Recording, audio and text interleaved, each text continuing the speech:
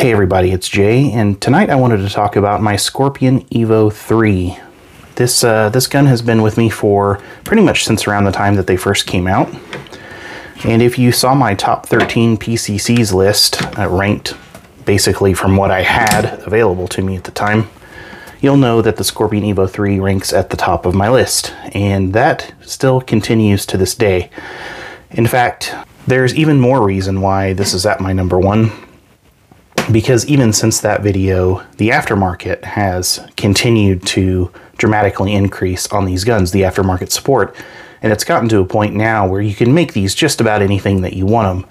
It's not as good on the customizability side as an AR, but whenever you consider that people making parts for these and magazines are effectively making it for this gun, either in the pistol like you see here, or the carbine, or the K model, they're basically only making it for these all these aftermarket parts for the Scorpion. People complained about the ambidextrous safety, uh, digging into the, the forefinger, which was basically my only complaint with the gun whenever I got it. CZ introduced a deleted safety. People complained about the grip angle, some about the size on the factory grip, which this is not. I'll show you by comparison.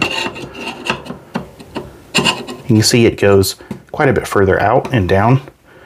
Um, lots of companies uh, have started making pistol grips for these. I actually went out to check to see who all was making grips, and there were so many that I was like, just trust me, there's a lot.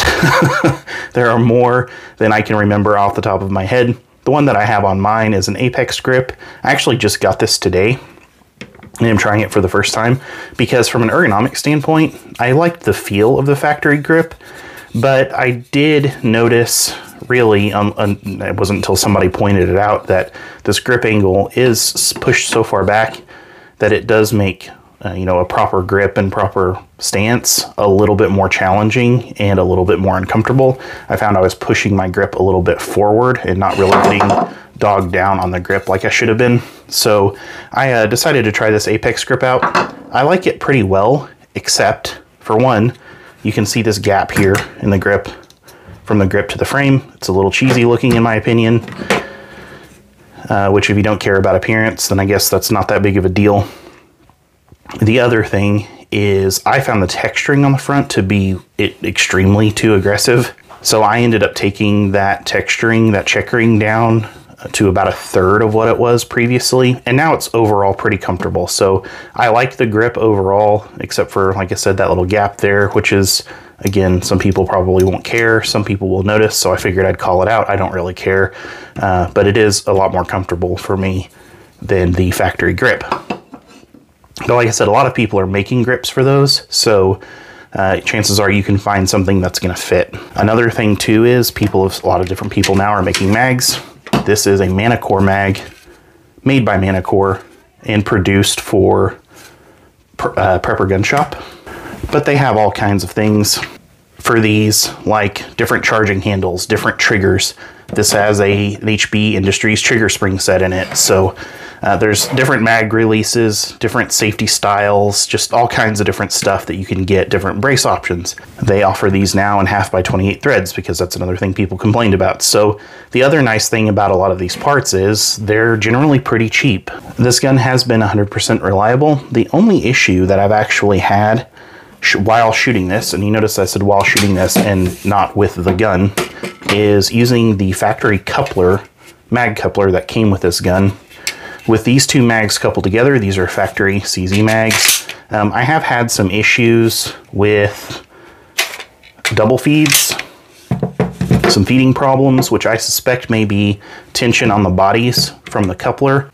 It could also be that the extra weight of having two mags on there changes the feeding angle. I'm not 100% sure, but I've only had that issue with the coupled together mags, no issues with the other factory mags that I have or the Manicore mags. So while it does make mag changes very fast, uh, I really feel like it's more of a novelty than anything because in the time it takes you to clear the jam, you've decidedly added much more time than it would be to just grab another mag out of a pouch and swap it out.